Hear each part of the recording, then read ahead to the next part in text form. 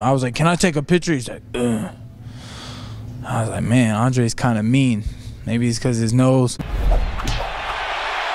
What's he gonna say to me? I got more fight night bonuses than he got fights. That's the point, motherfucker. I'm here to get this money. I got all the snacks now. I ain't hungry no more. I ain't thirsty. But I am hungry for victory. I can't lie. The schmo senses a calmness to you. Namaste, my friend. I don't know what to say to that. Shabbat shalom, boy. Could be first, could be second, could be third. It doesn't matter what round as long as we see a show. It doesn't matter what round it is. Same shit, different day, man. I throw these hands. That's what I do. I'm the man with the hands. I'm the man with the hands. I got the platinum plans, making all them bands.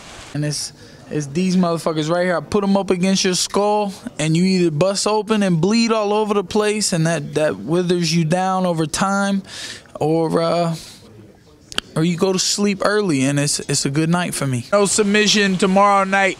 We're both looking to knock each other out, and we all know that I'm a little better than that, than him at that. I fucked that one up.